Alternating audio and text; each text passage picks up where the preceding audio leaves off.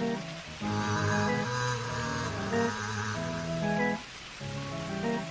you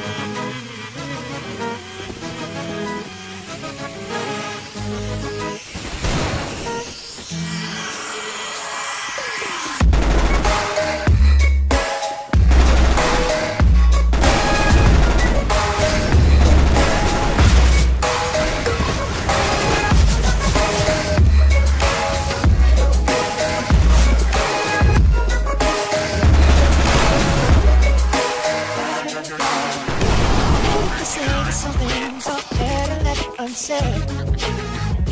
it wasn't like you only talked to him and you